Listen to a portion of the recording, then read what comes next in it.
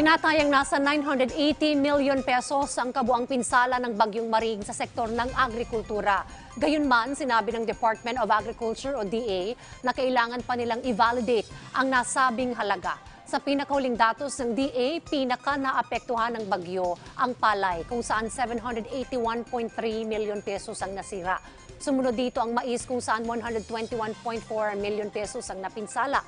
Mga high-value products tulad ng gulay, saging at strawberry na nasiraan ng ah, 59.3 million pesos na halaga ng produkto at livestock, poultry at fisheries na nawala naman ng kabuang 18 million pesos.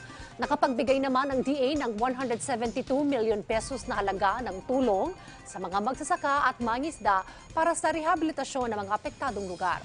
Nag-alok rin ito ng hanggang 20,000 pesos na halaga ng emergency loan na walang interes, walang collateral at payable sa loob ng 10 taon.